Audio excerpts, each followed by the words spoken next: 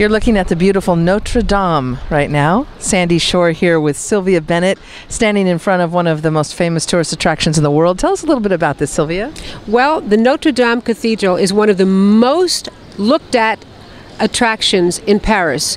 And it's something that if you come here to Paris to visit, you must see this cathedral. In fact, if you like to do exercise, when you go inside the cathedral, there's wonderful stairs to go up to the top so you can burn calories after you eat those beautiful patisseries, okay?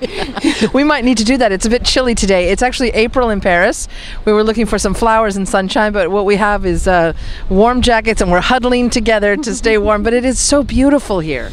It doesn't matter what time of the year. That's why they have that song, I Love Paris. I love Paris every moment, every moment of the year. I love Paris. Why, oh, why do I love Paris?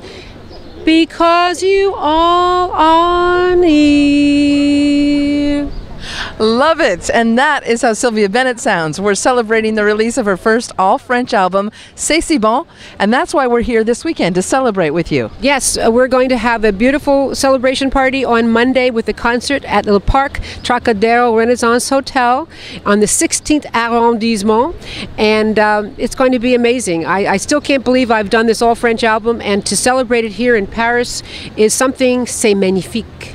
The album is available, will be available very soon, probably as you're watching this right now, on iTunes, Amazon, and everywhere fine music is sold, including sylviabennett.com. Thanks so much for touring us around Paris. It's fantastic. It's my pleasure, avec plaisir. Merci. Sandy Shore for smoothjazz.com and Smooth Travel TV.